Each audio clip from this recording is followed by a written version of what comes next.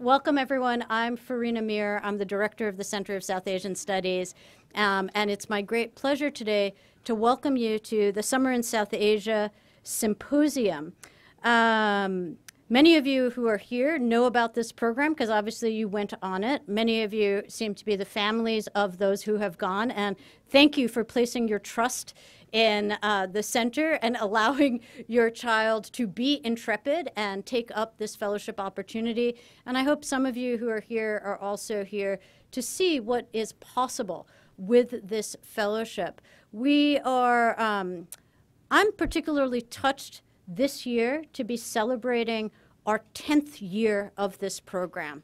Um, and this year we sent 10 students to South Asia bringing our numbers actually over this 10 years to 74 fully funded students sent to India over the summer to do independent research or work with an NGO and um, to have a, a, learning experience with real solid academic content as well as life experience enhancement. We have a number of people to thank that make this program possible, and it actually begins with our staff. Um, is Janelle Fossler in the room? Janelle is sitting right here, front and center. Please give her a round of applause, everyone.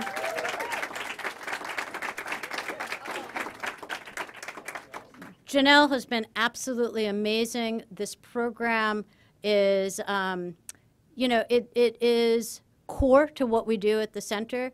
Um, and it requires actually a lot of input to make sure that our students are going out to do something meaningful for them um, and also safe so that you both go away and come back to us safe, which is a, a real issue. So anyway, I just want to thank Janelle. I want to thank also Dan Cameron, who um, is just completed his master's at Eastern Michigan University, who interned and worked with, with us on the program over the summer.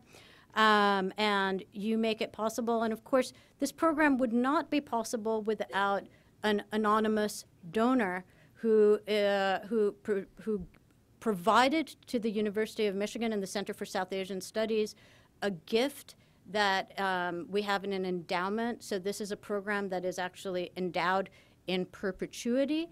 Um, and it really is our role at the center is just to be um, stewards of this gift. And that anonymous donor is today um, still going to remain anonymous, but he's with us. Um, and I will only share his first name, and that is Dave. And before handing the floor over to Janelle and getting the student presentation started, I'm going to invite Dave to come and say a few words to us. Thanks for being here, Dave.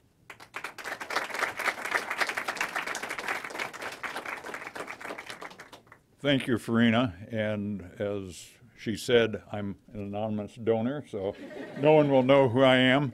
Um, it's exciting to be back on campus and see the energy and all the you know current students and this type of thing. It's you know uh, really great.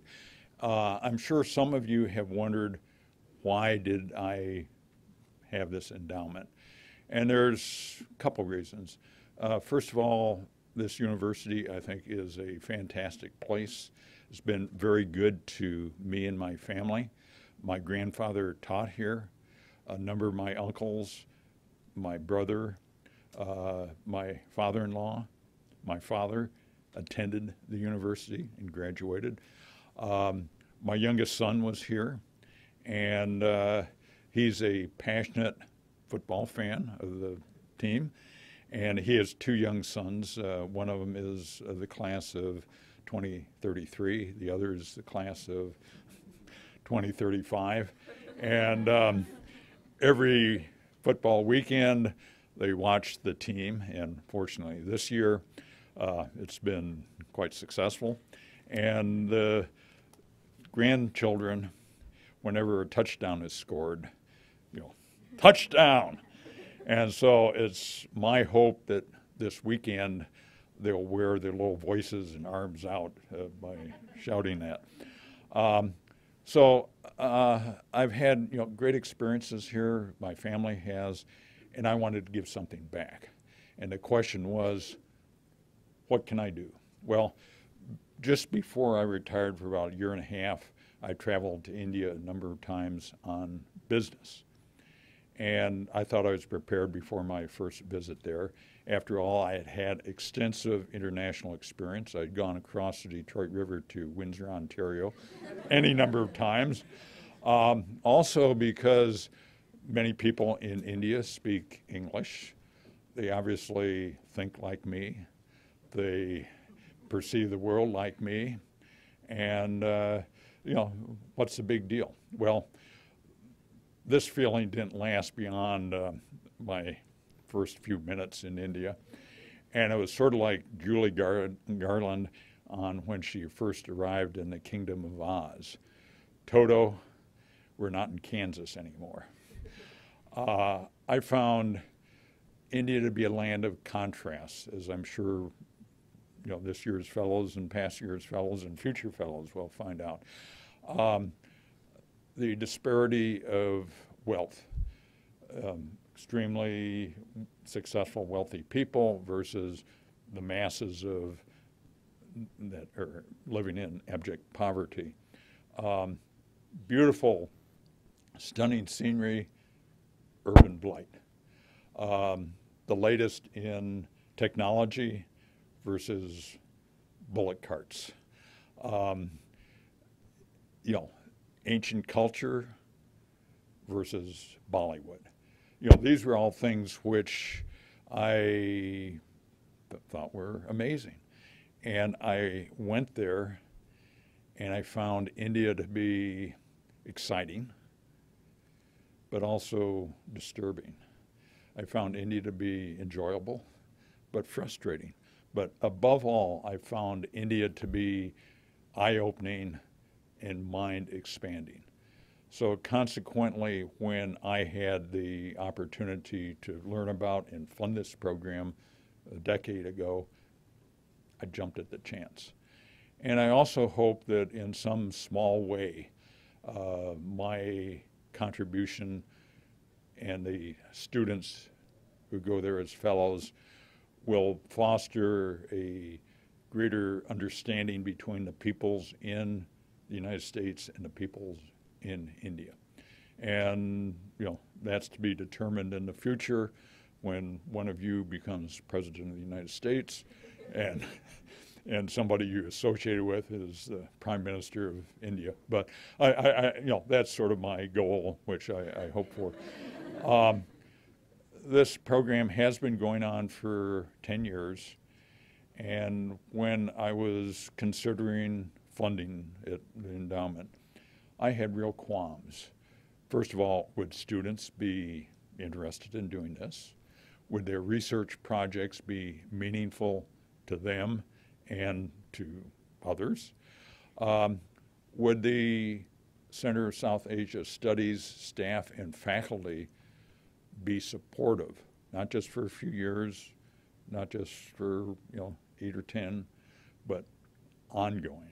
And uh, also, would the students be willing to step out of their comfort zone and participate in a program that by design is extremely challenging? Um, would the experience in India be life changing or life reaffirming? Um, you know, in other words, would the program be a success? And uh, I think every year um, it has been reaffirmed, yes, it has been a success. And I think, I, you know, I want to thank the faculty and staff of the center. I want to thank the students in past, present, and hopefully in the future for, you know, participating in this. And um, every year, the um, Students send thank you letters, and this is the most meaningful aspect of my life each year. And thank you for this. Uh, there, you know, this makes the minor donation of the funding for this worthwhile.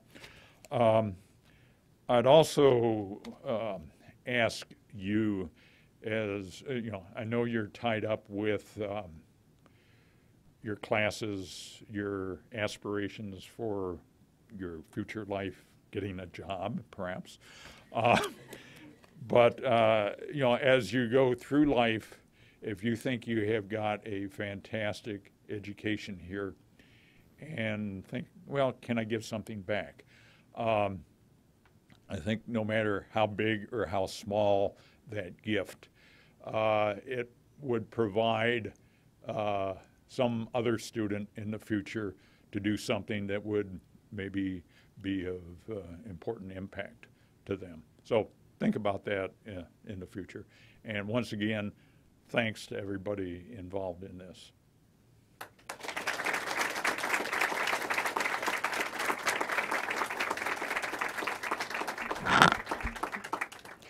Thank you, Dave. Welcome, everyone. Hi, my name is Janelle Fossler, and I'm the Fellowships Coordinator for the Center for South Asian Studies. Um, it's been such an incredible privilege to work with this year's fellows. Um, all of them inspired me and taught me so much, and I'm just so proud of the amazing work that they did this summer. Um, I'd also like to thank Dave for making this transformative experience possible, not just for this year's fellows, but as previously mentioned, for um, over 70 students at the University of Michigan.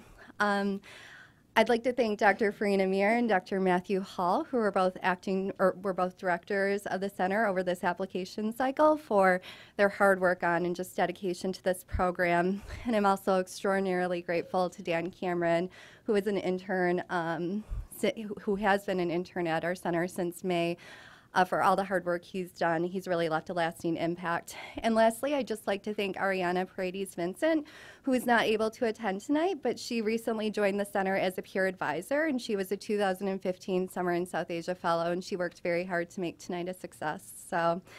Uh, without further ado, I'd like to introduce our first speaker, Grace Beckman.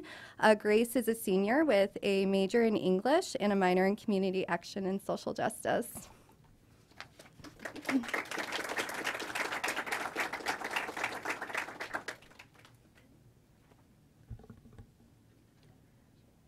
Okay, well, I don't really have to give an introduction. That is my introduction. So um, I just want to say thank you so much um, to Dave and also to SISA program.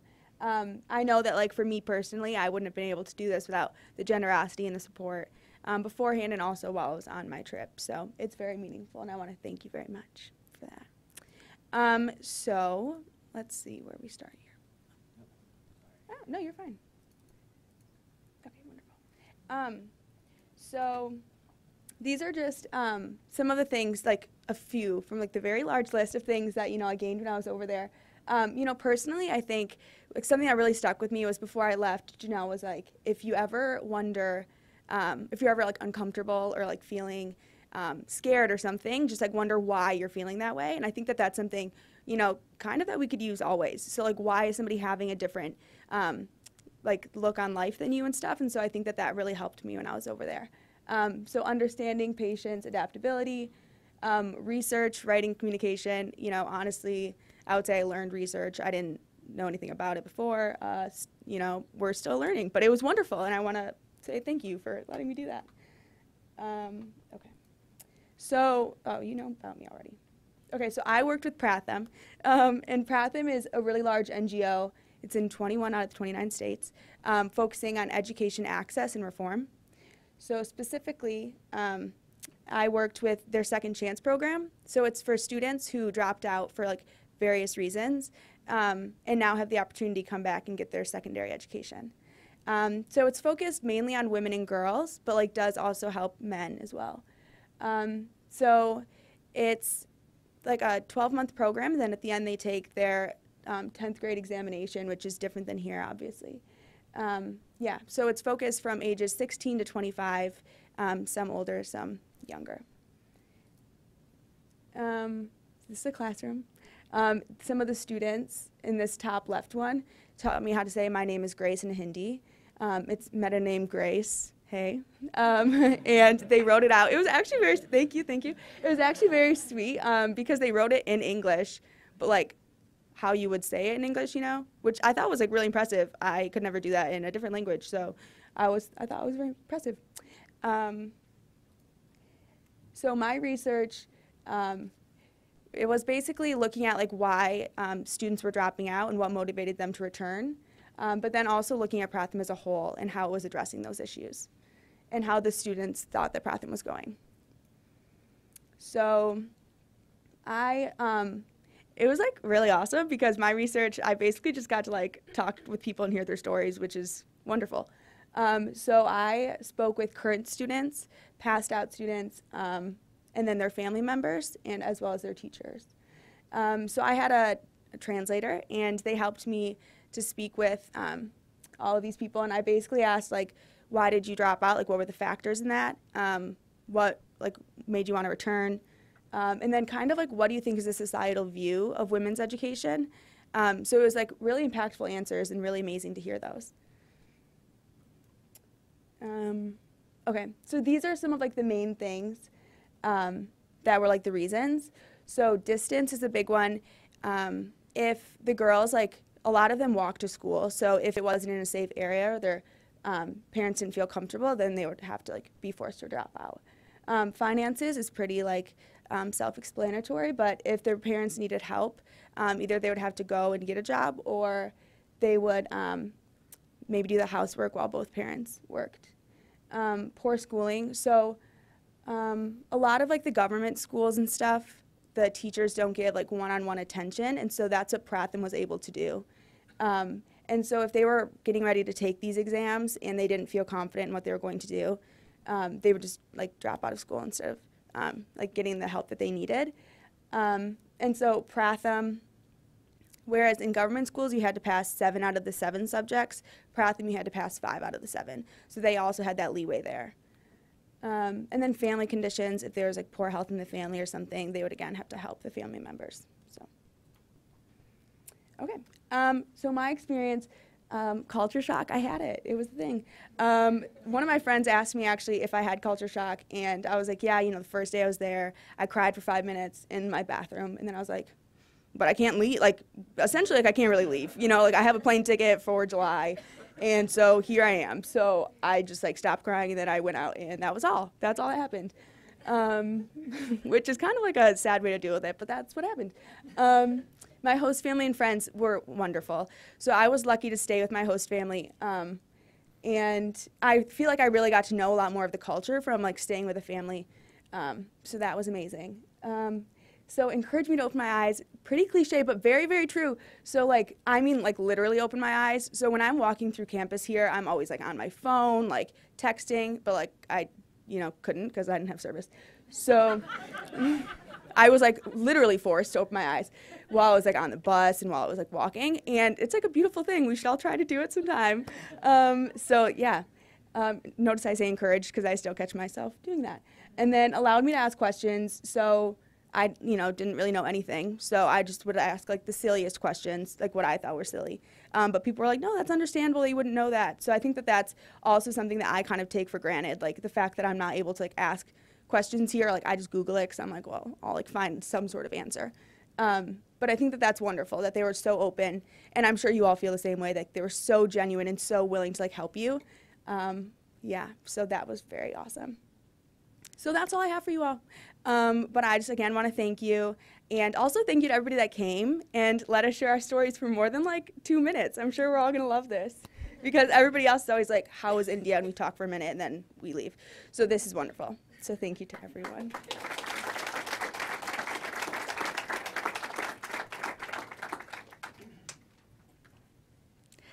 Thank you, Grace. Our next speaker is Arun Chandrasekhar. Um, Arun is a senior with a major in philosophy and a minor in mathematics.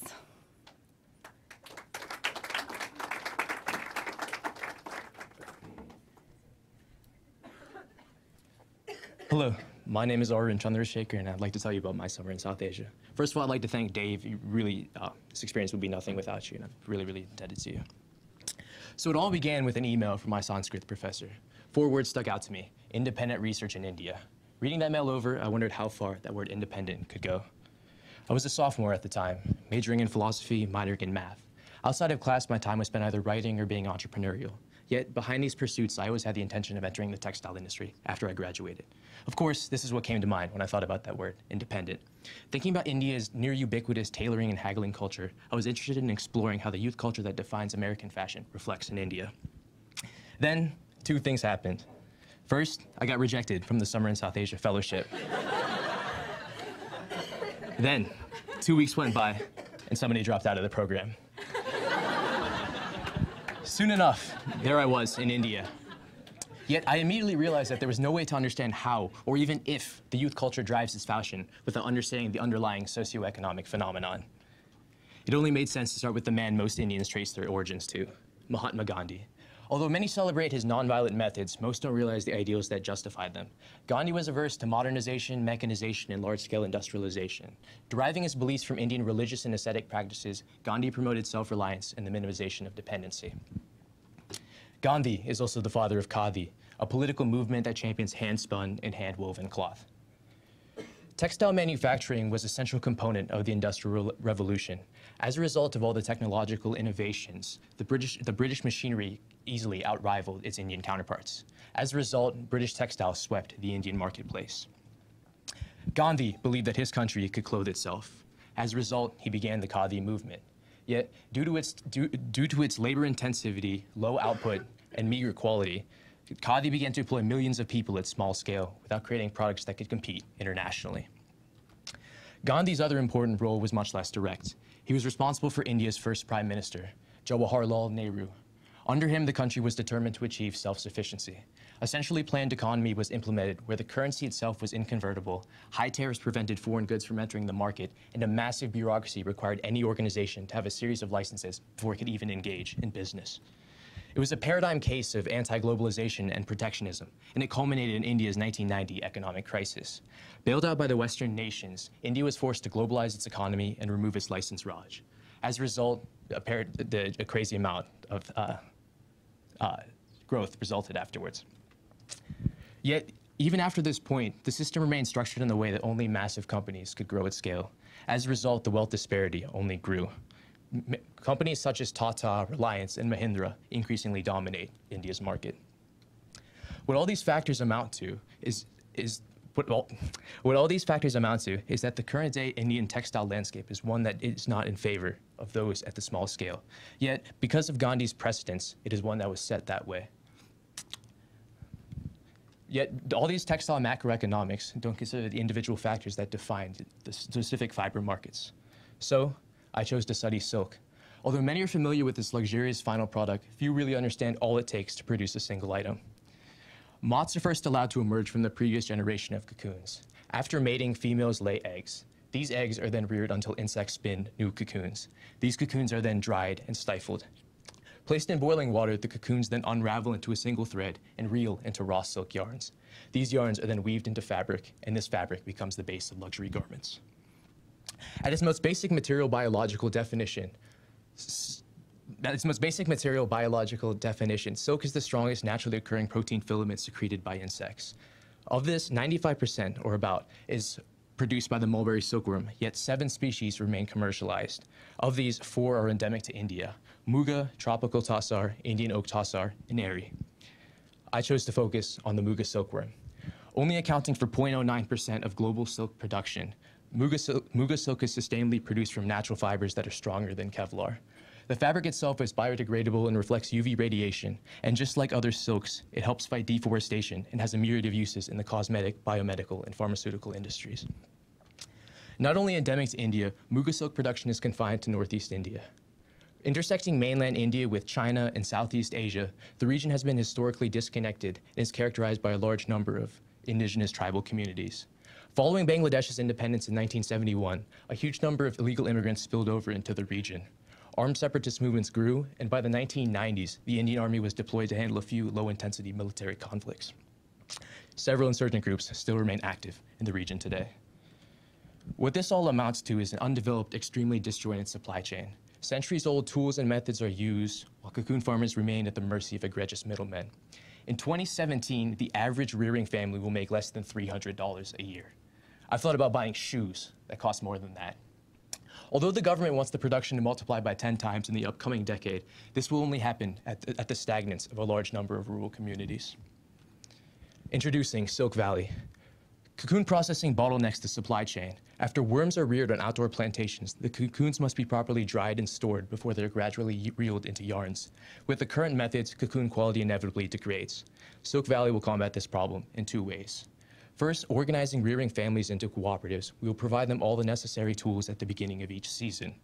Then, in a way similar to microfinancing, we will eliminate overhead by purchasing all their cocoons back at the end of the season.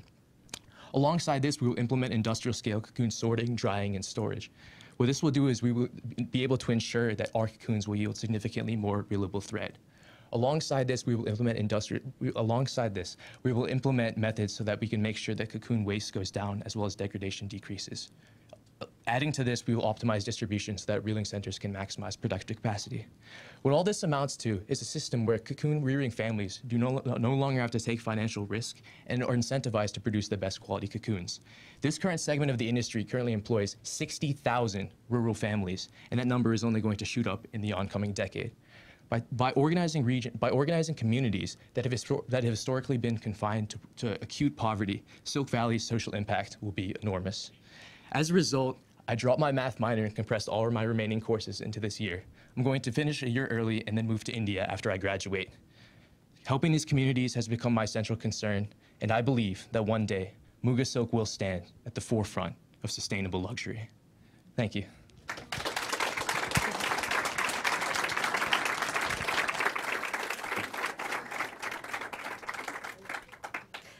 Thank you, Arun. Next up is Videhi Dangre, who is a junior majoring in international studies with a minor in business.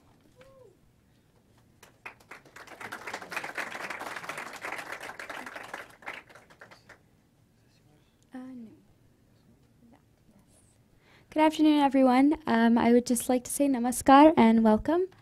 Um, and I'd like to say thank you to Dan, um, Janelle, who has constantly supported us mentally, um, sometimes physically, um, with everything. Thank you so much.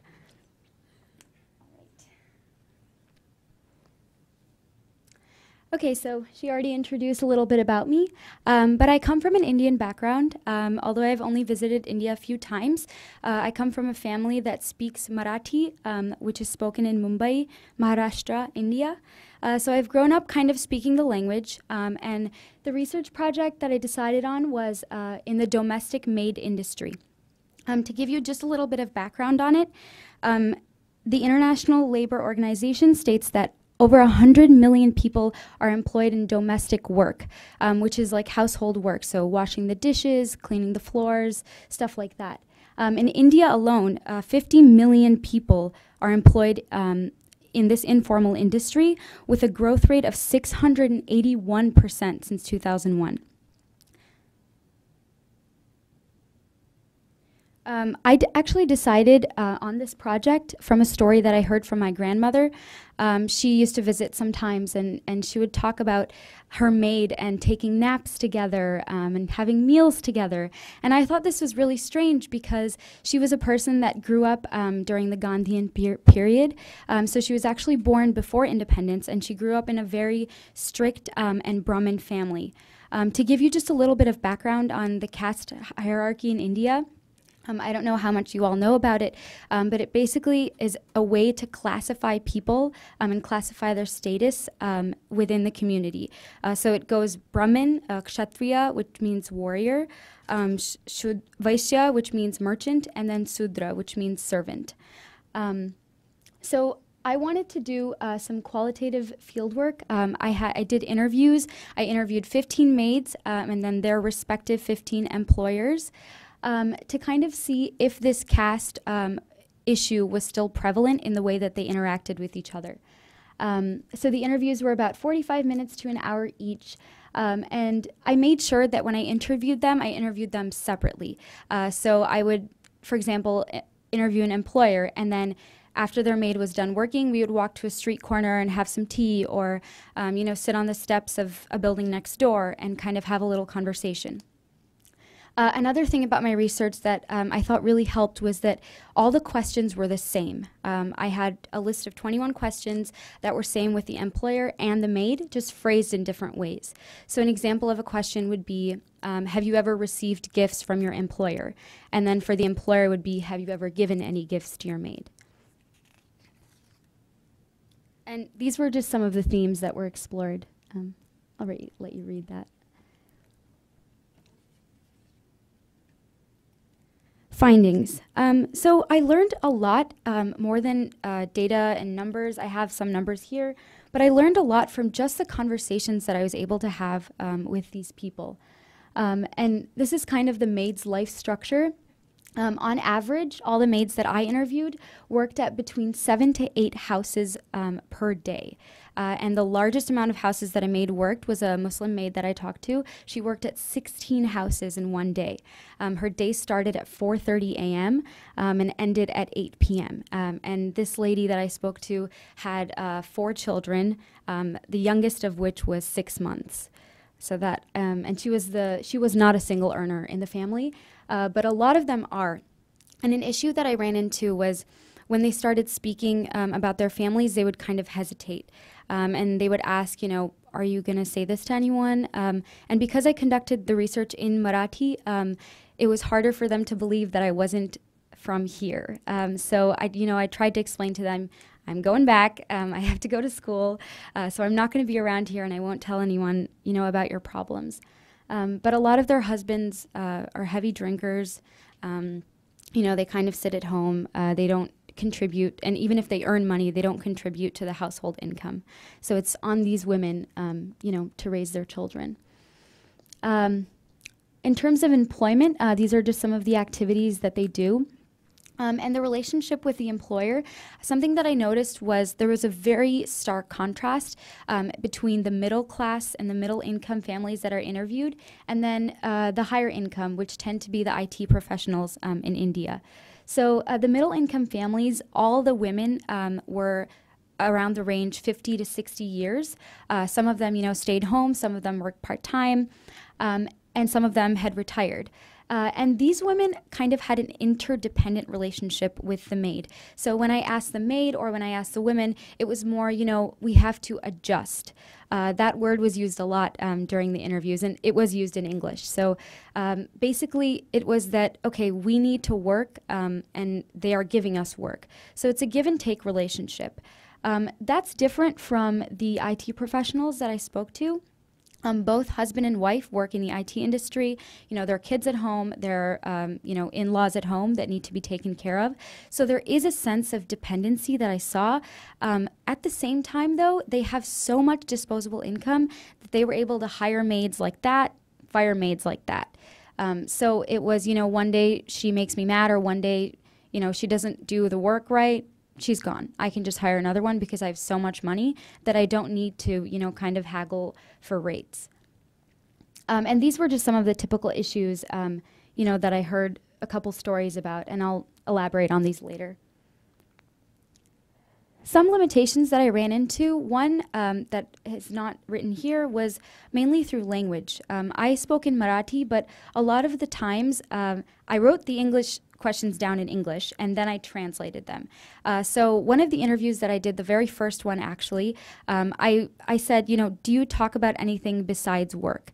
Um, to us, that just seems like okay when you're chit chatting. Like when you go to work, sometimes you talk to your, you know, fellow colleagues. Is it like that? But to them, it sounded like, do you leave your work to go talk to your employer and hang out?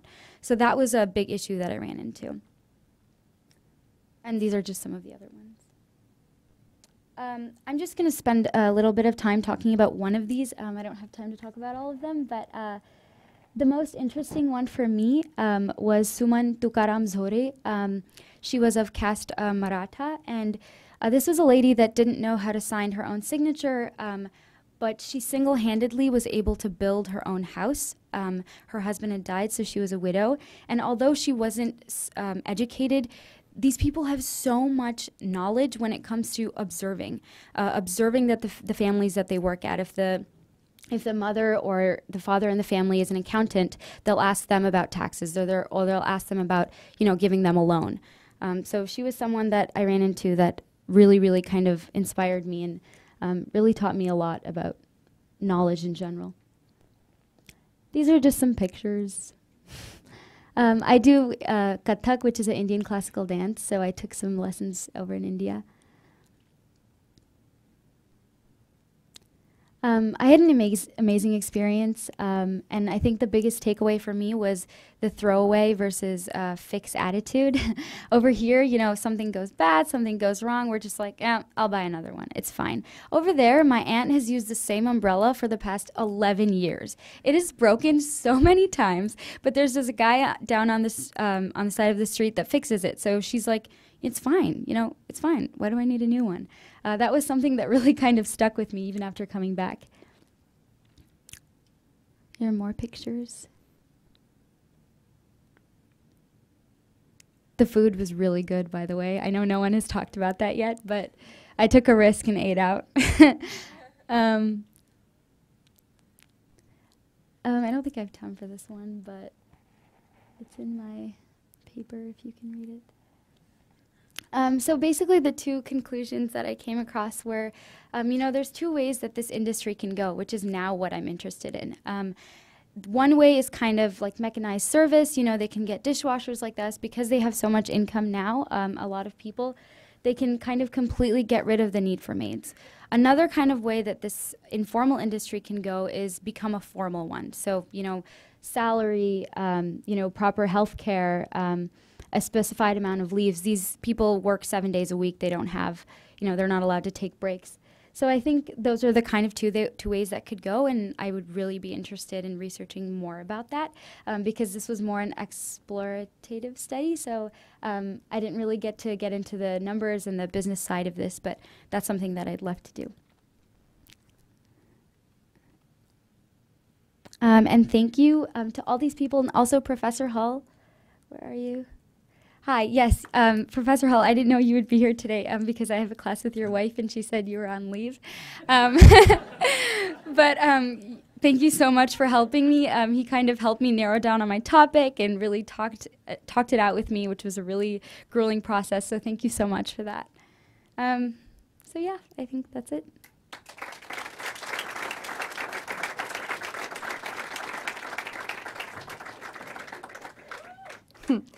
Thank you, Videhi. Our next speaker is Hannah Doherty. Hannah is a junior with a major in international studies and a minor in community action and social change.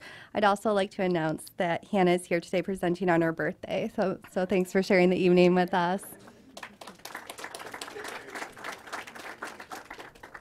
Welcome again, everyone. Thank you so much for being here. Um, my name is Hannah Doherty. I am 20 years old as of today.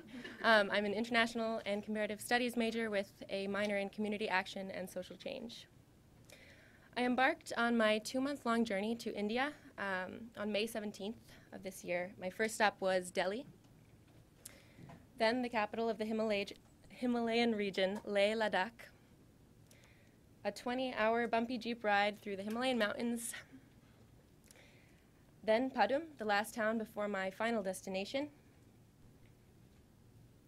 And then finally, two hours away from Padum, uh, the Zangla village, um, where I interned with the Jamyang Foundation at the Cham- Changchub Choeling Nunnery. Uh, the Jamyang Foundation is an innovative education project um, that supports Buddhist girls and women um, in one of the poorest and most isolated parts of the world. I taught English to young nuns ages 3 to 12 in the nunnery school for three hours every day um, for two months. These are my adorable students. uh, the girls were filled with joy and a little bit goofy, creative and eager to learn, and always smiling. As a temporary member of the nunnery, I also had to contribute in other ways like milking the cow, churning butter, polishing puja bowls, and whitewashing the clay cottages at the nunnery. Uh, the research I performed this summer was entitled A Practicum in Asking. Essentially, I wanted to create a comprehensive example of uh, community inquiry as a means of improving the work of uh, foreign aid organizations because the biggest issue in this sector is uh, poor communication with local peoples and not placing enough importance on Native opinion. This leads to the unnecessary wasting of projects implemented by foreign aid groups because outsiders are coming in to help, but they may not be addressing uh, the specific problems that exist in these developing communities. By bringing to light the perceptions of local people uh, and, and their thoughts about foreign aid uh, workers and projects, uh, we would be recontextualizing the way in which we interact with our global community, uh, erasing the Western hero impoverished victim dichotomy, and putting power back into the hands of the communities that we seek to help. Um, my goal I want to take the good intentions of humanity and help to channel them in such a way that they are actually producing a positive, la- lasting effect. Uh, these were the interview questions that I used um, for my interviews. Uh, I, I, interviewed roughly 30 individuals in uh, the town of Padum and also in Zangla village. I interviewed nuns and monks, parents, college students, um, all different sorts of people. Um, through my interviews, I discerned quite a number of different negative manifestations of poor communication, not just uh, the squandering of uh, foreign aid projects. For example, oftentimes NGOs are not helping the right people. Uh, there is a dependency on foreign aid that leads to heightened expectations. Uh, oftentimes, NGOs attempt to change uh, traditional and functional parts of communities. There's a great lack of follow up, um, and there are um, a lot of unqualified volunteers. As far as my uh, specific interview questions were concerned, um, these were the most prominent uh, responses that I, re- I received. Uh, number one, government schools are performing very poorly. Um, teachers are not showing up to school. Uh, there's a great lack of resources. Um, and locals uh, equate education with private schools, usually funded by um, foreign organizations. Um, in this region specifically, there is an excess of volunteers in the summertime. Um, and that is not when uh, the people of this region need help. During the winter, um, temperatures drop to negative 20 degrees. Um, people are isolated to their villages, and there are no volunteers that come to uh, the region of Zanskar in the winter. Um, a lot of the older generations uh, do not see the value in education, and this mentality kind of um, seeps into um, the younger generations. There is a new road being built uh, between Padum and Leh, which is the, the capital where the airport is, um, which would usher in a new wave of unprecedented modernization for the communities. Uh, so the locals expressed great interest in uh, awareness camps to uh, learn about the changes that might be coming. Um, and then finally, in Zangla village, a lot of the elders that I spoke to were interested in adult education classes. Um, I was very fortunate um, because in Zangla village there was a Hungarian organization. Um, I became very close friends with the volunteer coordinator for this organization, and they were experiencing a great deal of tension with the villagers. All of their projects were failing. They did restoration work on the old Zangla Palace, which was covered up in cement. They were forbidden from entering the government school, which historically they have um, volunteered in. And they built a solar school a few years ago that was completely not being used, uh, save for drying cheese. Um, and this was due to poor communication, lack of attention, and no follow up. Uh, but then I also had the opportunity to interview two directors of uh, a French organization called Edo Zanskar. Um, and they have succeeded in creating the most successful private school in the region of Zanskar. I interviewed the principal, I interviewed, um, and, and two of the directors of this organization. Um, and their, their biggest ideal uh, is focusing on the power of suggestion instead of, uh, and letting the, the locals run the project. Um, one of the directors of the organization said, when something is working, you have a responsibility to keep it working. Whatever we do, we must do it well, otherwise, we'd be spreading ourselves too thin, and the quality of our work would be weakened. It's like a tree. If the roots are shallow and spread out too far, the tree will fall. If the roots are few and deep, it will continue to grow larger and stronger with each passing year. This is why we love what we do. This is why it works. Um, at the end of my research, I decided that there were three extremely important um, things that uh, foreign aid groups can do to improve their work. Number one, volunteer screenings. Uh, number two, um, have NGO scouts that perform this sort of work. And finally, working through local NGOs as a, as a point of contact with local people. Finally, I just want to thank uh, the Summer in South Asia Fellowship um, for giving me this opportunity of a lifetime to live meaningfully and with purpose, for showing me that smiles exist even during the most challenging times, for giving me laughter and love.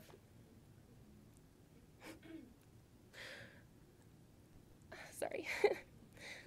for allowing me to engage in a once in a lifetime experience.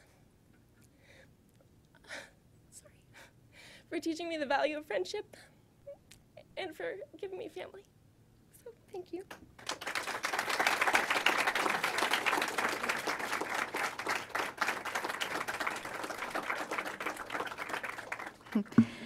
Thanks, Hannah. Next up is Matthew Gradenus.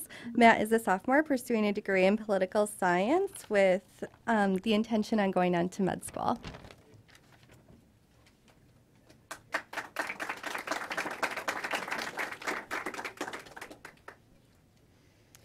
Uh, good evening. Uh, my name is Matthew Gradanis, and my project was entitled First Do No Harm The Safety, Affordability, and Effectiveness of Mobile Healthcare in India. Um, a little bit more about me. Uh, as Janelle said, I'm a sophomore. Uh, I'm studying political science, but I am hoping to go to med school. Um, I hope to get my medical degree and work in reconstructive plastics, uh, which I hope to use in mission work, possibly to India in the future.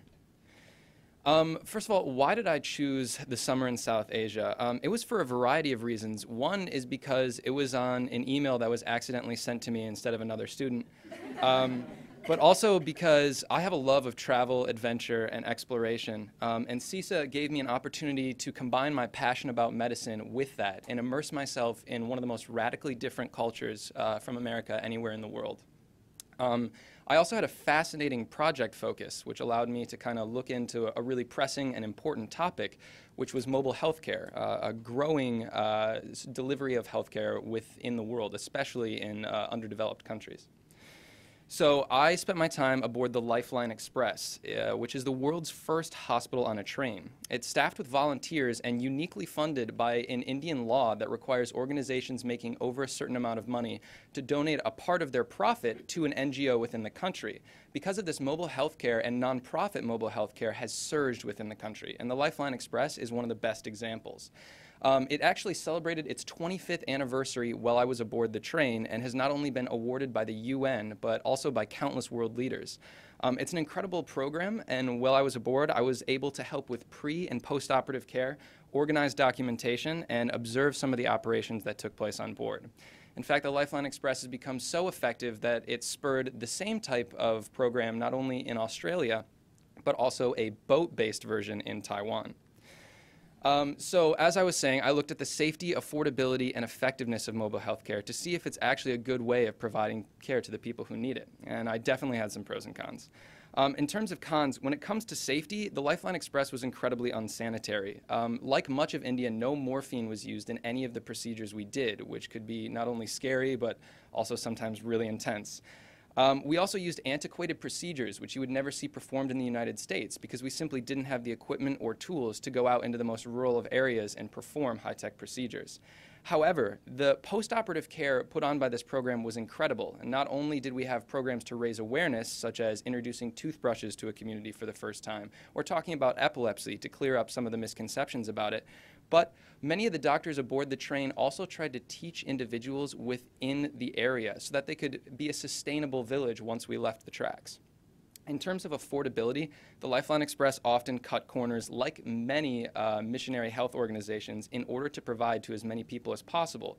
This sometimes resulted in an occasional lack of supplies, such as IV bags or important medications, but it wasn't really something we could avoid. Uh, the pros of this, however, are that the program is very inexpensive, roughly 100,000 uh, estimated US dollars per project. With 12 projects a year, this is just over a million dollars, which is almost one twelfth of what it would cost in the United States. As you can see, this program is uh, built on the emphasis of quantity over quality to try and reach as many people as possible. Um, in terms of effectiveness, the unregulated quote unquote field medicine that we practice, as I said before, was antiquated and sometimes incredibly hard to watch. But it did provide care to the people who needed it, who needed it most. Um, in fact, this is important when we consider that over 60% of the Indian population does not have access to any form of health care. This is more than six times the United States average, and for the second largest population of any country in the world, it's almost unacceptable. This is largely due to a lack of infrastructure, and while many people in the United States may want to try and conform the Indian medical system to that of uh, nations like the United States or Britain, um, we can see that this isn't always the best answer. India is so rural and uniquely diverse that hospitals simply aren't the solution to the problem. Instead, programs like Lifeline Express that go out into the heart of the most rural areas and provide care to those who need it most may be the answer. However, when looking to see if mobile healthcare would be applicable in the United States, we can see that it would need to go un undergo a huge overhaul in order to go up to United States regulations or standards in order to operate on any patients. So, uh, if you kept up with my blog, you know that my trip uh, consisted of getting stranded, sick, uh, climbing mountains, and almost an arranged marriage. Uh, but it also impacted me in three kind of large aspects. Uh, professionally, my trip taught me how to market myself as an intern and deeply immersed myself in my field of interest. I worked by doctors 10 hours a day for almost five weeks, which was an incredible experience to not only see how doctors of a different culture work, but also how patients respond to healthcare. Academically, my research pushed me to become an observant, thoughtful, and thorough researcher of complex issues, especially because only one other person on the entire train spoke English, meaning that most of my observation and data collection had to either be translated or simply using anything I could find aboard the train. Personally, though, was probably the greatest impact. My experience transformed my worldview, especially of other cultures. It challenged my quick thinking and taught me about myself. I had to think on my feet. I was put in sometimes intense situations, and I also had to learn how to carry myself, even when you have a horrible, horrible, confusing day in India. Um, so finally, I'd like to give a thank you to Janelle and Dan, who not only took our 3 a.m. phone calls when we were stranded or sick or didn't know where we were going, but uh, also to our generous donor. It would be too little of me to say that he simply made this experience possible.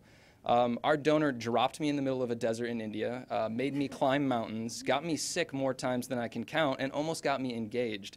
But what he also did is give me an incredible life changing experience. He believes in this program, and after being a part of it, I can honestly say that I believe in the work he's doing. Thank you.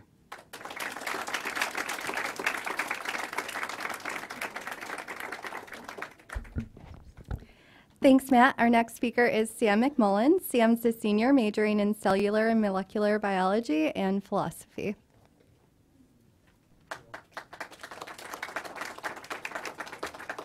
Hey, how's everybody doing? Holding up? Good? Yeah? All right. Um, great, awesome. So, my project this summer, I spent four months, three and a half months, um, shooting a documentary, um, following a t shirt, looking for titles if anyone, is this good? Um, uh, if anyone has any ideas. Um, so I'd never shot a documentary. I was a cellular molecular biology major, dropped that. Um, I'm a philosophy major only now, and um, well, we'll we'll get to the we'll save it for the end.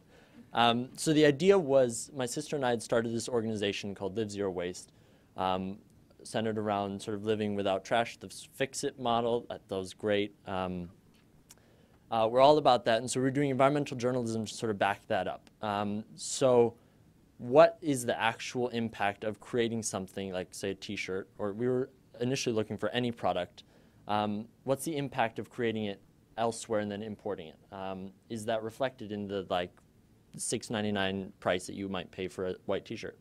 Um, so we went and we, we followed it and we looked through it. Um, so we chose a t-shirt because basically it touches more things than many other kinds of products. So a straw might touch manufacturing and shipping, but um, t-shirts have agriculture, they have human labor, they have all kinds of other stuff um, that make them sort of the ideal uh, environmental life cycle analysis. Um, so I started out, I went to Delhi, flew into Delhi, and did two months of research um, learned on the job. I, I, had no idea what I was doing. Um, never tried journalism or really like video. I took a photography class. Um, YouTube helped me out a lot. Um, I did a lot of research. I went into my first interview um, and just sort of like vomited out my main questions at the guy, and he was like, "Hey, listen." Um, let's order a coffee. Tell me about your project. What are you doing? I have no idea what's going on. Um, that interview actually ended up being sort of crucial in taking our project to the next level. Um, it was with a union organizer who, um, just give you something to look at. Um, I took pictures while I was there. Um, the, uh, this also sort of represents how the research was, sort of untangling a lot of different threads. Um, but he was a union organizer, and that ended up being the tack that we would take the whole time. So our um, basic strategy was, after trying many different and failing at many different other strategies, basic strategy was talk to a union doing the step of the process of producing a T-shirt um, that we wanted to get access to, offer to provide them with a video for union recruitment purposes, and then uh, get the access that way. Um, and it worked out really, really well. So this is what I, after, after two months of research, this is what I learned, um, which you would get from sort of a cursory look at Wikipedia. But um, basically, I, I learned pretty in depth what was going on in India with all of these and where you would have to get access to get videos. So a lot of things in this industry, you know, it's, it's had a lot of news coverage with, uh, um, it's basically sweatshops we're dealing with, right? Um, in the knit, dye, stitch, or the dye and stitch mostly. Um, so that's a really difficult place to get access, and that's what you want to do as a documentary uh, filmmaker, give you something to look at. Um, so did everyone, everyone cool with that? Cotton through selling, yeah. Um, so we actually, you, you're sort of catching me mid-project because we've gotten footage of some of these, um, but um, this project is, the reason I don't have any videos right now is because we're still getting footage, and this project is, I'll be editing for a year, so hopefully get it out by a year from now. And um, we're going, my sister's going back to get footage. I did this all with my sister, going back to get footage um, in January. And we'll, we'll talk about that another, I have another surprise for you in the production segment.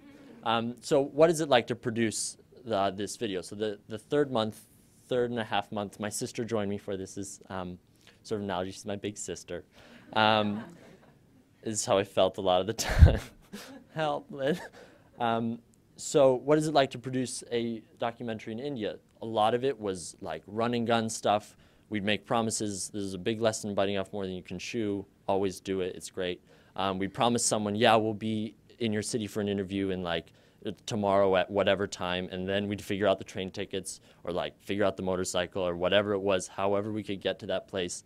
Um, because at a certain point, it just became if we had access, if there was a chance that we were going to get the footage we needed, we just made it happen, um, which is a really fun style of life and gets you traveling all over the place. We, um, at one point, we slept we slept on the side of the road twice. Um, it was it was a real great adventure. Um, so let me before you get to look at that. Um, we so we started in Delhi, moved to Bangalore because it was a much more heavily unionized place um, for the the hardest step, which is getting the stitching. Um, so we moved to Bangalore to be in contact with the unions there, and then did all of our research, sort of branching out from Bangalore. Um, Tamil Nadu is where they do a lot of this spinning. We went north to Raichur where they did cotton growing, talked to farmers about what it was like to, like what BT cotton or um, uh, genetically modified cotton was doing to their, um, uh, their whole agriculture system. There's some intense stuff going on, uh, to say the least, and hopefully it'll be reflected in the documentary eventually. Then we headed um, northwest to Mumbai and um, to get the shipping step. So this was a huge challenge. This was the chai guy on the train. Um, and uh, so it was a huge challenge because that's like they have military on those docks. We ended up having to sort of take footage from a separate little jetty um, of the ship. So we didn't get what we wanted to. We wanted to actually take a boat home um, with the t-shirt. Biting off more than we could chew. Um, so what are the next steps?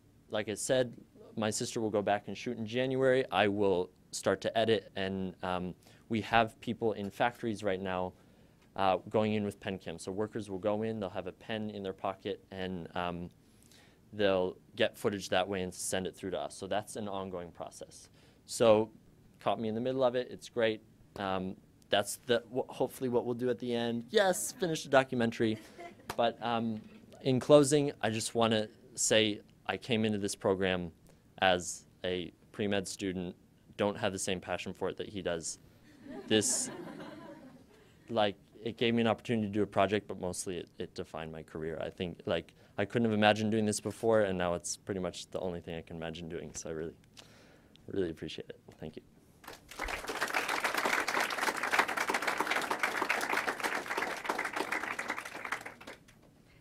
Thanks, Sam. Next up is Hannah Furshey. Hannah is a junior majoring in biomedical engineering.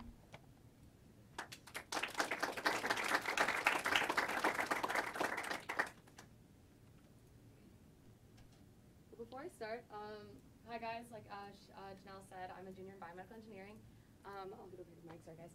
Um, first off, I would like to apologize if um, I start talking too fast because I could talk about my project for over an hour and I don't have that long. So, um, and I love it, so I really want to get as much information and tell you guys about it as much as I can. But so, so again, um, that's me. Um, my in, uh, so actually, I'm a yoga instructor, which is how I got interested in um, my project that I got started on, and then also India because that's where it started. Uh, and so I volunteered at uh, the Institute of Applied Dermatology. It is a nonprofit um, outpatient facility treating uh, m- lymphedema is their main treatment, but they do lots of skin diseases, um, STDs, and um, uh, dermatology, dermatology um, diseases. Um, I could, sorry guys, I could talk for about just the, the things they do there is so amazing and how they run it is um, crazy. So my volunteer, actually, I also did research for them, which was my volunteer work for them. I worked, um, I started on the pioneering of a study um, doing yoga poses to um, relieve uh, respiratory distress due to asthma and allergens in rural school children. Um, so that's what I was doing um, my time there um, working for them during the day. Um, and then also my research project, the, the above, the first one was kind of what I started with, and then the second one is when I got there, what I saw, what I could actually do. So mine um, was looking into what aspects of IAD's integrative um, medical treatment for lymphedema um, are from which medicinal practice, and um, what makes the specific combination beneficial and successful in their community.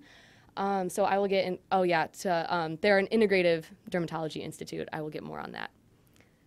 So first off, um, since my project focused on lymphedema because that's our most commonly treated disease, I want to give you a quick um, update on what that is. Um, so lymphatic fluid goes throughout your whole body. It cleanses the body, gets rid of disease, those type things, gets filtered through your lymph nodes. And what happens is lymphedema is when it can't um, properly get drained from um, back into the circulatory system. This can happen um, from birth defects, um, damage to nodes, which can happen from mastectomies. Um, most commonly in India, um, they're treated from uh, mosquito bites that have a certain worm that uh, can then damage the lymph system. And then this causes extreme swelling and inflammation in limbs. It can happen all over the body, but you mainly see it in the legs. So this is what it is. So their process for um, uh, treating this disease, again, it's an outpatient facility. Um, so they don't stay there over the night. They um, come, they pay whatever they can for their rooms, and um, they get treated during the day. Um, so there, it starts. Um, it's a 14 to 21 day consult, treatment. So it starts with a consultation, talking about the disease, what it is, what they do there, because um, obviously integrative treatment is uh, confusing, and you really want to make sure people that's what they want. So um, then a doctor collaboration between um, all the doctors of the different disciplines. Um, there's patient education, um, cleansing of the, and then the actual um, physical treatment is what we would think of treatment is um, cleaning of the limb, a Fanta soak, um, infection point entry care, um, pre um, uh, manual lymph drainage yoga, um, and then manual lymph drainage, um, compression bandages, post yoga, and um, a diet protocol. So um, these are some photos. Sorry, I forgot to warn you if you're a little bit queasy. Uh, sorry, I forgot to give that at the beginning. Um, so a little few things. Um, so th- this is um, a few things from the process. Um, so cleaning of the limbs, um, infection care, the Fanta soak, which is an Ayurvedic powder to help with skin cleansing based on the different skin conditions, because there can be psoriasis or thickening of the skin. Each patient is different based on. It can be a bunch of conditions, but um, the outside of the skin and the inside is different for every single patient. Um, so that's what they uh, cater the um, Fanta Soak to do that. And then infection care, which I will change the slide because I know that's kind of gross. But um, the infection care, um, as you can see from the first picture, um, with massive swelling of the legs, there are lots of folds that can happen in the leg. And then if it gets wet, um, improper care, it can easily be infected, and then all of their uh, treatment processes have to stop. So that's why they try to treat it. Um, and then compression bandages, yoga. Um, the one in the middle is um, actually the so IMLD is Indian man, manual lymph drainage, which is um, a very particular process of um, just a manual massage of the limb to um, like kind of what it says manually drain the lymph from the leg instead of the having the circulatory system do it. So, and then a little bit more on integrative medicine and what it actually is. So, it's um, practicing medicine in a way that um, selectively incorporates elements of complementary and alternative medicine into comprehensive treatment plans alongside, alongside solidly orthodox methods of diagnosis and treatment. So, um, again, so what it consists of is allopathy, uh, Western biomedicine, is what we all know, what we all see. Um, you go in, they, based on your symptoms, they tell you you have something, you take meds, you go home. Um, and usually um, it's also um, very harsh treatments. Um, our drugs are extremely can be extremely toxic to the body. Have you noticed um, all of your drugs have side effects um, on every single bottle that you take? Um, but uh, we don't care because it's quick, it's easy, um, it'll get the job done. so it's pros and there are pros and cons to every single one. and then the complementary and alternative medicines are things that are more commonly practiced in India. so yoga is uh, something that I'm interested in, and that's um, physical postures um, mostly. But then there's also um, meditation, and it's also it can be a spiritual and a lifestyle choice. But I'm mostly looking at it as a, treatment. So um, that's physical postures, and um, yeah, I think you guys have a good general idea of what yoga is. It's kind of popular now. so um, and then homeopathy is something people are less know know less about it's kind of hard to describe. I'm still kind of um, fuzzy on what it actually is. Um, they go on the idea that like treats like, and um, the way they describe it, they described it to me. Um, the homeopathic doctor is um, so they would, if you're sick with something, they would give you the medication that would make a healthy person sick with your disease. So um, it's kind of it's hard to understand. I still don't really get it. And then Ayurveda is. Ayurveda is really hard to describe, and it's so amazing because it started in India and it um, it basically is balancing of the entire body. Instead of um, creating imbalances, they believe that sickness is caused by imbalances, and by treating um, certain parts, feeding you different things, um, it can bring your body back into balance between um, like fire, earth, and water, um, all of your elements within the body. So um, my results, so of the different parts that uh, consisted, you can see. So the allopathy is basically their uh, the organization and through their organization, they were a lot, they um, became more uh, viable. Um, so they can actually uh, print out and um, do research and seem real because um, sometimes Ayurveda has that problem is um, people think it's hokey pokey because um, there's just like not a lot of structure to it. So, and then also quantifying the results to actually proven that it's right. And the Ayurveda is actually a lot of the treatment process because that's what um, Indian people believe in. That's still their main form of medicine, and that's um, what they trust. Um, so that's why it's more trusted in that community. So that's the Fanta powder, Fanta powder the um, Indian soaks, the oils used in the massage, the compression techniques, medications prescribed, and the process. Um, and then yoga is um, to, again, help with the manual lymph, dra- uh, lymph drainage and then um, keeping the muscles engaged and um, keeping the joints oiled up and lubricated because obviously if your leg is so swollen, you don't use it that often. And then homeopathy is um, helping with the talking at the beginning, looking at all the patient's backstory, and then also um, the diet uh, recommendations at the end. So I want to show you some results from their treatment um, and how much it worked. Um, something, again, like a process that you guys might not believe in, I honestly wholeheartedly believe in now, is um, just how amazing it is. Um, here's another one. Again, like it's 55 days, and it's a process that can dramatically increase someone's um, expect- life expectancy and also quality of life. Um, here's some more. Sorry, I love, I love these. um, so um, why it works in this community is um, because it combines all the benefits um, and picks the bright, uh, the best from each ones. It again, like I was saying earlier, the allopathic makes it um, viable, and so um, it makes it more trustworthy by the entire uh, world, um, especially through their publications. Um, also, the CAM practices make it um, low cost and without adverse side effects and non invasive, which is very important to this community where they need to pay as little as possible, get in, get out, and go back to their lives, as everyone's been talking about. Um, they, they have to do their own things, and um, sometimes taking care of your own, yourself isn't a priority. Uh, so they're also because it's outpatient, they're taught um, patient care. Um, they teach it themselves. That's why it's only 14 to 21 days. It makes it low cost again, and um, then they can give, get back to their lives and they can continue treating it since it's chronic. So um, this way, they don't need to constantly come back um, for treatment. They figure out how to do it themselves, and then they can continue doing that treatment for the rest of their lives. Um, also, through the consulting, they feel comfortable and knowledgeable in control of their disease, which is something Ayurveda wouldn't give them because um, it's not diagnosed in the same way we do it. So it gives them a better understanding of what is actually happening to their body. And um, then also, all these factors maximize their treatment. Um, like I said, I was working in a rural area, so um, they don't have any of the um, things that we have, and everything they did dedicated to um, helping their patients and making it best for them. So, um, yeah, that was mine. Um, so I wanted to say thank you to the donor. Thank you, Dave. it was we all try to say what happened to us in India, and there's just no way to put it into words whatsoever, because there like you can't force it into words about what happened to you. And um, I want to thank um, Janelle, Dan. Everything was amazing. Um, I know I went over time, but um, talk to me. to anybody talk to me more later because um, I can talk to this even longer. Like I can tell you so much more about everything, and I would love to talk to people about it. So anyway, thank you.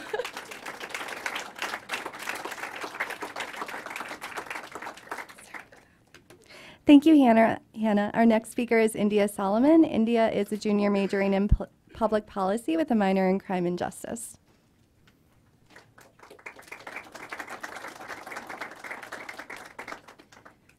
Hi, everyone. Yes, my name is, in fact, India. That caused me a lot of trouble when I was actually in India. People were like, no, you're lying. I don't trust you. What do you mean? Um, but yes, so here's my summer in South Asia. I focus on mental health education and early childhood development at the Bubble School for Autism. Who am I? As Janelle said, I'm a senior in public policy. I'm focusing on comparative urban policy and development. I do have a tentative crime and justice minor right now. Um, as many of us have already said, this trip really has changed my life, so I might not be able to finish that minor because I'm completely switching from a pre law track um, and I'm interested in public health now.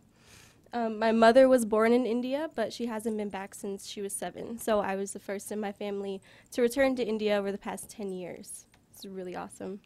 Um, why did India want to go to India? So this is a quote that I picked up from one of the markets in Goa. One of the merchants says, "You speak Hindi? You look Indian. You are like my sister. I give you Indian price." so I did not go to India to get Indian price, but I did go to explore my own international roots um, and to use those roots to gain a deeper understanding of my major, which focuses on development economics. And finally, I wanted to add a global component to my academic career. Up until now, I hadn't studied abroad, and that's something I definitely wanted to do before graduation. So I interned at the Bubble Center. I did research. I mostly volunteered for their summer camp, and I helped out with program development.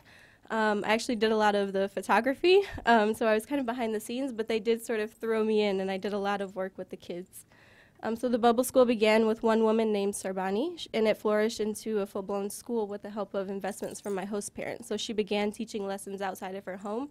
Um, she was getting tons and tons of students, wasn't able to give the students uh, the attention that they needed because she was only functioning out of one room in one home. So she expanded in, into a school. So the Bubble Center offers art therapy, occupational therapy, speech therapy, movement and theater, cooking, and sports. And um, they only teach 41 children, and this is because they are not government funded. If they were government funded, they would be expected to have a much higher child to student, sorry, student to teacher ratio.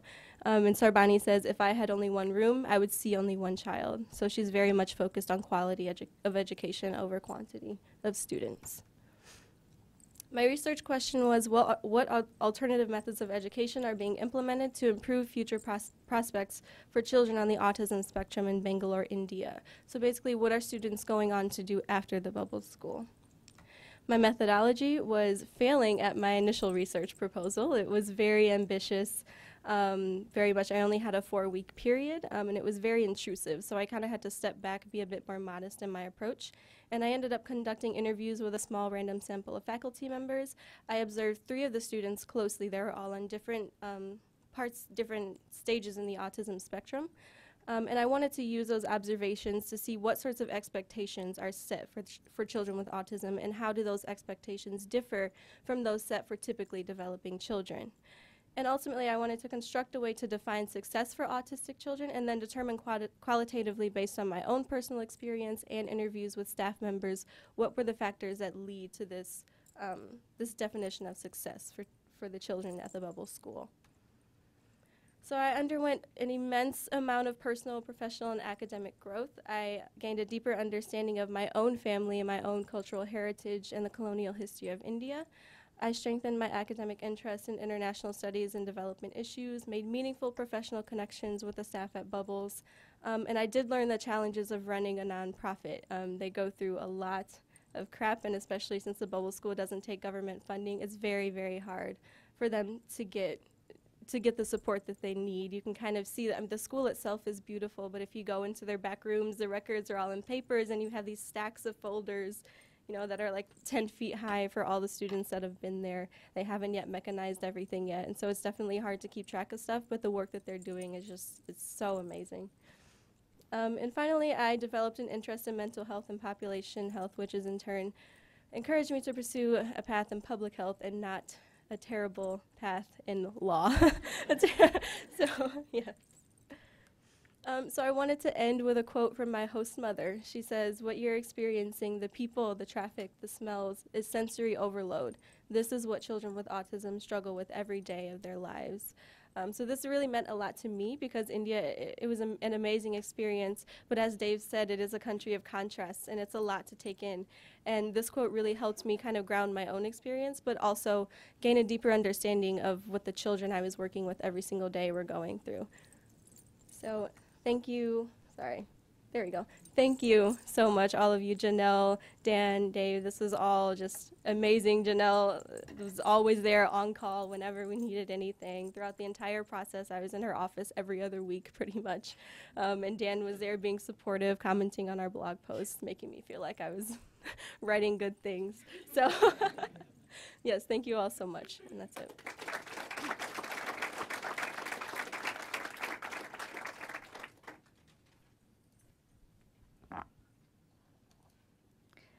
Thank you, India. Um, next up is Madeline Stagner. Madeline is a junior with a major in elementary education. Hi.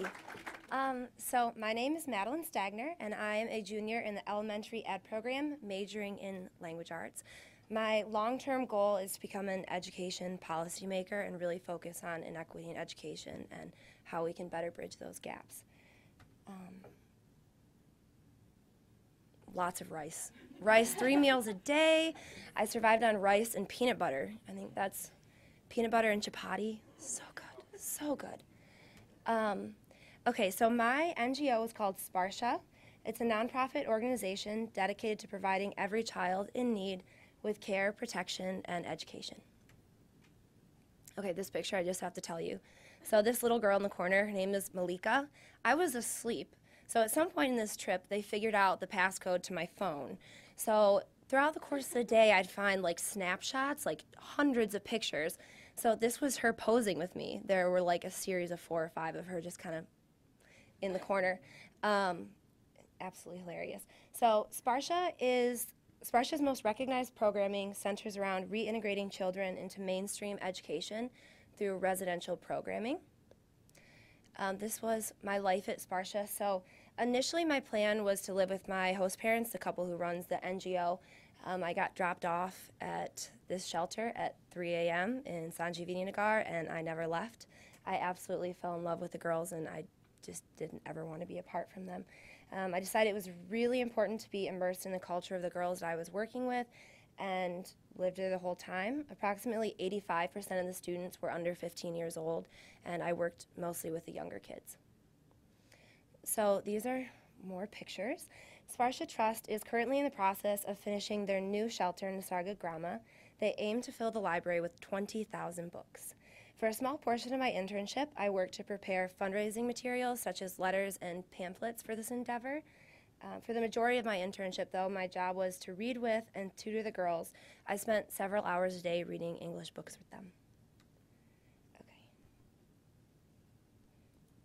Okay.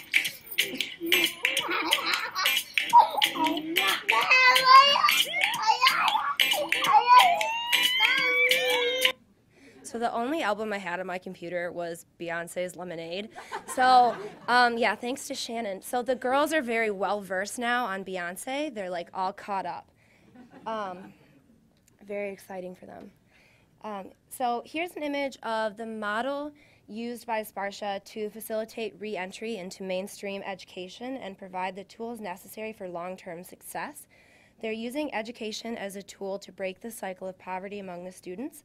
This process guides students towards this goal as part of a residential program. This programming will support students through college or vocational training. They really support them on either endeavor. Um, Sparsha has rehabilitated more than 1,200 working and street children and also enrolled them into local government schools with a success rate of 72%. So this is my research question. I relied heavily on observational and qualitative research, and perhaps one of the most interesting parts for me of Sparsha was that not all the kids were orphans. So I worked at a shelter, but half of the kids had no stable home, no one to, no guardianship. Um, and then the other half were typically child, lab- child laborers. So they had families, they grew up in slums. Um, one of the girls I got really close with worked three different jobs in addition to going to school. And Sparsha allowed her the opportunity to really focus on her education, and now she's top in her English class and was she did most of the communicating for me. She's a brilliant, brilliant girl. Um, yeah, so my observational research was constant and relied heavily on note taking. The these are the two biggest things I saw in the girls. They were so determined. Anytime anyone came, there was something challenging to understand. They sat in the front row, they were constantly engaged, and they really understood the value of education. And they talked so much about their dreams, their aspirations in the future. I mean, it was constantly on their mind and constantly in our conversations. Um, so this is Rupa, and she is who I relied on most for my qualitative research.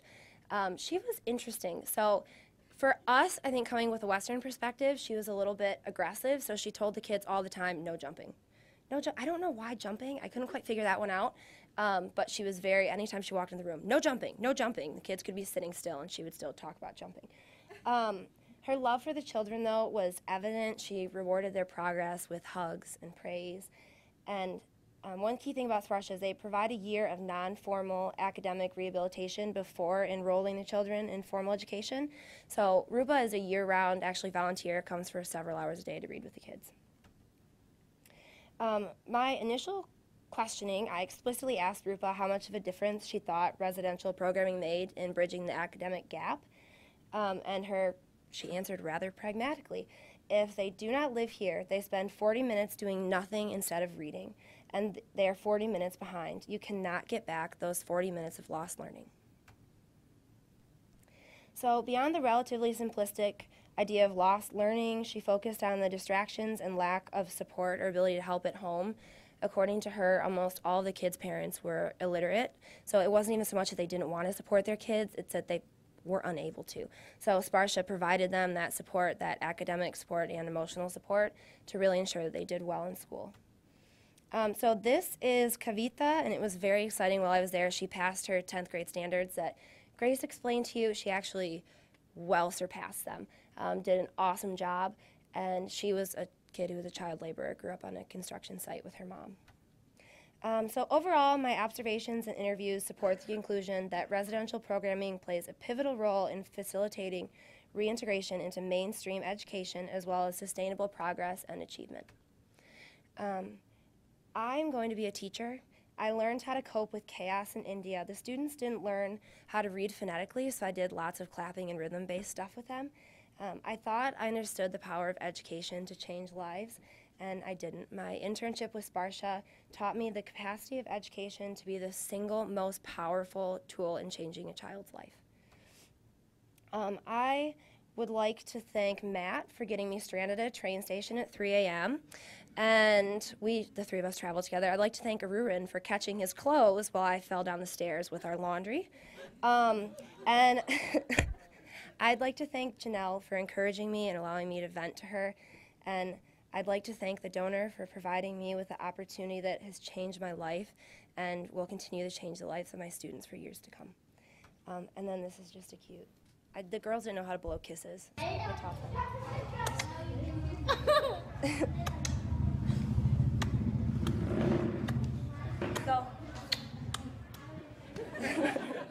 Thank you.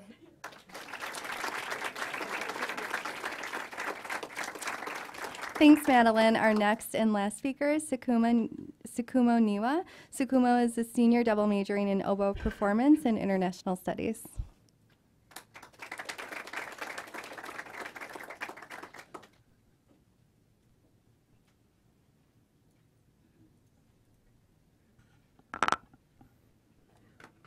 Hello, everyone. Thank you so much for coming out tonight. My name is Tsukumo, and I'm going to be talking about my seven week experience in Varanasi, India, working with Nirman, the NGO in uh, Varanasi. I should use a clicker. Maybe. Okay, sorry about that. So a little bit more about me. My name is Tsukumo again, and I am a dual degree student in LSA and School of Music Theatre and Dance, uh, majoring in um, oboe performance and international studies. I also have a minor in CASC, Community Action and Social Change. I'm interested in performing arts of all kinds. I'm a musician by training, but I love going to all kinds of different kinds of performances. And I'm also pretty active as a social justice advocate and educator on campus. So, why did I want to become a SISA fellow? I was really interested in going to India. This was my first time in South India, uh, South Asia, India, indeed, and I really admired India for its richness of culture and performing arts and just the diversity within a country. And my biggest question that I had about the country was, how can art and social justice intersect in this kind of diverse, unique environment that is India? So, a little bit about the host NGO that I was with. Um, its name is Nirman. It's located in Varanasi, India, and they they have a couple of components that um, they really focused on in their work, which includes research, education, international exchange, and art studio. And I worked mostly with the education sector of their work. So the education sector works really. Um, education sector is centered on Vidyashram, the Sound Point School, and its administration. The school was founded in 1990. It's a private K through 12 school, so people can apply and pay to be in this school. They have a lot of programs, however, to um, diversify the um, school population, including the students and the teachers, and making sure students get the support they need, whether it be food, um, money, or um, like in terms of tuition support, um, and religious holidays, um, observances, all of that, to make sure that um, a diverse array of students and teachers can be there um, to make the school, population. And one of the biggest aspects of Nirman is the activities, uh, their focus on activity-based learning. So this is an educational concept developed um, post-World War II by some of the British um, veterans who were exploring some educational reform in India. And activity-based learning approach is very child-centered and tailored to meet the needs of e- each and every child. They come from diverse backgrounds. Some of them might have um, parents that can really help them read and grow and all of that, dedicate a lot of their time. Some of their parents don't even read. So, really tailoring to the needs of each and every one of those children. And um, in nature, it is a progressive approach to Indian education.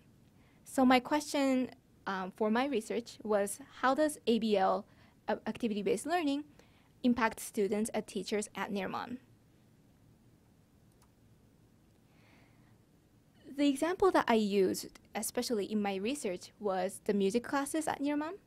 Um, they happen twice a week for grades 1 through 10, and teachers um, include those two over there. Um, in uh, some teachers are trained in classical music, classical Indian music, um, and some international interns, um, including myself and some others that were there, um, train some uh, or give some music classes to the students there as well. To the right is me playing the oboe for the students in class nine. So here's a little clip of the music class uh, taught by Ashish sir and Triloki sir, um, who is on the tabla and harmonium. How do I play this video? I'm so sorry about that.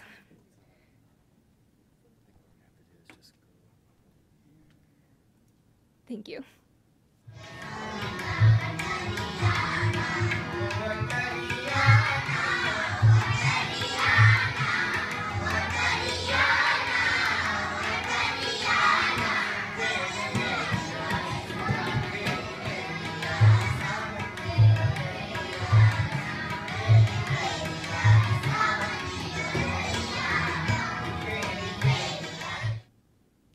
So what you just heard is a little clip of a song about the monsoon season. I was there in June and July when the rain season was just starting, and um, it's a local song in uh, popular in Varanasi.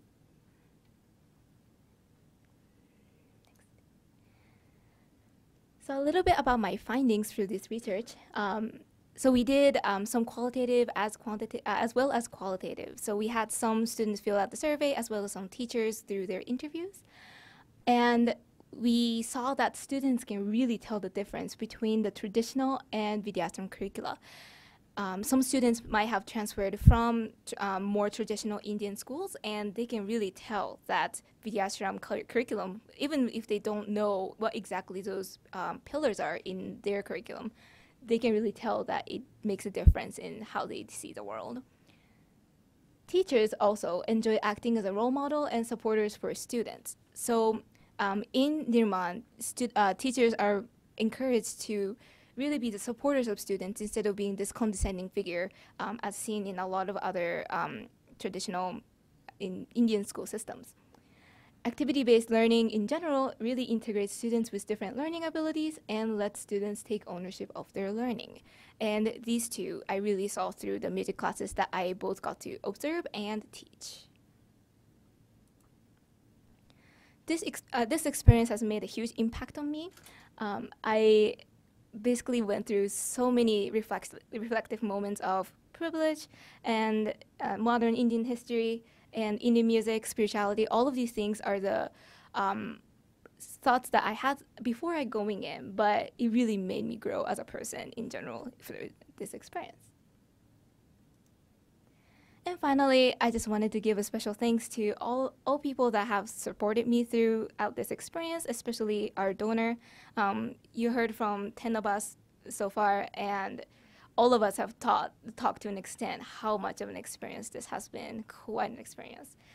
And um, of course, Center for South Asian Studies and Nirman, my host NGO. Thank you so much, everyone.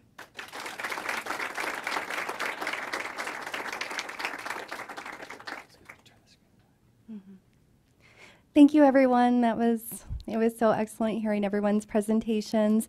We'll be hosting a reception out um, in the gallery space, and you can also eat in the room. Um, I'll guide people if you'd like to sit down. Um, I'd like to leave everyone tonight with. um, did you want to say something, Dave? Okay, so I'd like to leave everyone tonight with that. But thank you so much for coming out.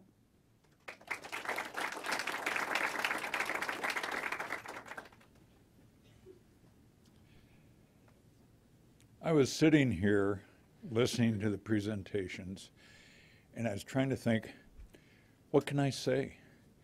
And one word popped in my mind fantastic. Uh, really fantastic. And I want to thank each of the fellows for being willing to step out of your comfort zone and participate in a program which I think is very meaningful. And I hope, and certainly from what you've said, uh, it has had tremendous influences on your life. Um, I think, in my mind, listening to you and seeing what you've done, uh, the sky's the limit for you in the future. There is nothing that you're going to face in the real world that will prevent you from accomplishing what you want to do. And I'd say, you know, dream high because you can succeed. And thank you so much for doing what you've done. Uh, each year, I think, how do we top this year's uh, group of student fellows? Well, it's going to be challenging to top what you've done and accomplished. And, uh, you know, thank you. Uh, it reaffirms my commitment to the program and makes me, you know, tremendously glad that uh, I did it. Um, also, I'd once again like to thank the faculty and the staff uh, at the Center of South Asian Studies. Um, your commitment has also made this happen, and not only in the last decade, but for future decades. And I'll be back here in 30 years and just, you know, see how things are going. But th- this has made me realize the value of this, and um, certainly it's my intent that in future years I'll be back for this because this is a highlight of my year. Thank you.